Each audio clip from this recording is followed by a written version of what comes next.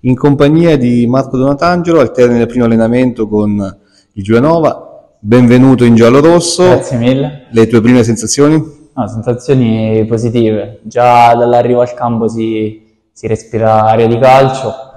Eh, I ragazzi alcuni li conoscevo, altri li conoscerò, però impressioni positive. Grande impegno e il fascino del, del Fadini.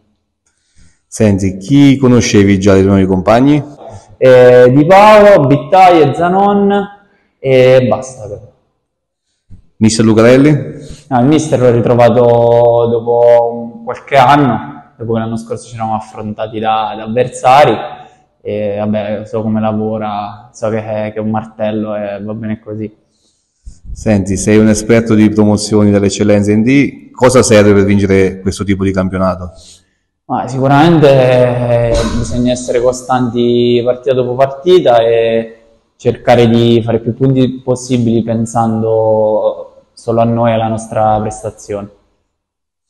Ma diciamo che al centrocampo ho giocato sia a due sia a tre, e ultimamente come mezzala, come play, diciamo, ho fatto un po' tutto. Cosa ti aspetti da questa nuova avventura? Ma sicuramente è una sfida stimolante, spero che alla fine potremo festeggiare.